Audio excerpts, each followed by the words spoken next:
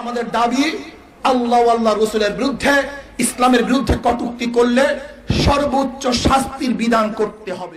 আওয়ামী লীগের উচিত হবে তথ্য প্রতিমন্ত্রীকে বহিষ্কার করা, বললেন জাতীয় পার্টির চেয়ারম্যান জি এম কাদের। অপরদিকে তথ্য প্রতিমন্ত্রীকে নিয়ে এবার হুমকা দিলেন চরমনার পীর রেজাউল করিম। কি বললেন তাকে নিয়ে থাকছে বিস্তারিত তথ্য। তাই প্রথমে একটি লাইক দিয়ে আমাদের সাথে যুক্ত থাকুন এবং সম্পূর্ণ তথ্যগুলো জানতে পুরো ভিডিওটি মনোযোগ সহকারে দেখতে থাকুন।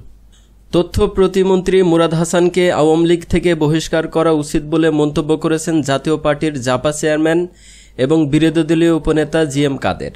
তিনি বলেন, তথ্য প্রতিমন্ত্রী রাষ্ট্রধর্ম মানি না বলে সংবিধানের শপথ ভঙ্গ করেছে। তার উচিত পদত্যাগ করা। তিনি আরও বলেন, বাংলাদেশে পঁচানব্বই ভাগ মানুষ মুসলিম। সেই মুসলমানদের কলিজায় আঘাত করেছে তথ্য প্রতিমন্ত্রী। এ সময় তিনি বলেন পল্লীবন্ধু এইসএম এরশাদ রাষ্ট্রধর্ম ইসলাম ঘোষণা করেছিলেন। এর বিরুদ্ধে কোনো ষড়যন্ত্র দেশের মানুষ মেনে নেবে না। প্রয়াত রাষ্ট্রপতি এরশাদকে কটূক্তি করে জঘন্য অপরাধও করেছে ওই মন্ত্রী। অন্যদিকে দেশপ্রেমিক সেনাবাহিনীকে নিয়েও কটূক্তি করে গর্হিত কাজ করেছেন তিনি।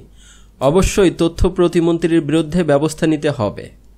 জি এম কাদের বলেন দু সালের সংবিধানের পঞ্চম সংশোধনীতে আওয়ামী লীগই রাষ্ট্রধর্মে ইসলাম রেখেছে। সেই রাষ্ট্রধর্ম ইসলামকে স্মরণের দুঃসাহস তাকে কে দিল? তাই আওয়ামী লীগের উচিত হবে দলীয় শৃঙ্খলা ভঙ্গের অভিযোগে ওই প্রতিমন্ত্রীকে বহিষ্কার করা। প্রধানমন্ত্রী ইচ্ছা করলে ওই প্রতিমন্ত্রীর বিরুদ্ধে ব্যবস্থাও নিতে পারেন। জাপা চেয়ারম্যান বলেন, দুর্নীতি এখন নীতি হয়ে গেছে। কেউ দুর্নীতি না করলে তাকে সবাই পাগল বলে। যারা ঘুষ খায় পণ্যে ভেজাল দেয়, কালো টাকার মালিক, তারাই রাজনীতিতে এখন এগিয়ে যাচ্ছে। তারা দেশের হাজার হাজার কোটি টাকা বিদেশে পাচার করছে। ভালো মানুষ রাজনীতিতে টিকে থাকতে পারছে না। তাই দেশের মানুষের প্রত্যাশা পূরণ হচ্ছে না।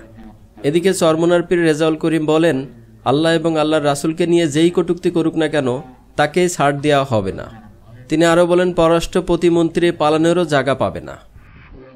আমাদের দাবি আল্লাহ আল্লাহ রসুলের বিরুদ্ধে, ইসলামের বিরুদ্ধে কটুক্তি করলে সর্বোচ্চ শাস্তির বিধান করতে হবে।